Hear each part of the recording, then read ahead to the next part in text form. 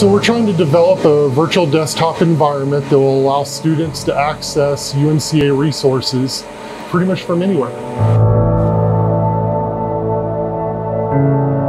This will make access to IT at UNCA more equitable.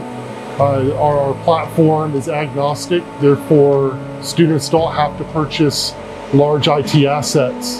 The equitable access will allow any student, no matter their financial status, to be able to obtain the same IT resources.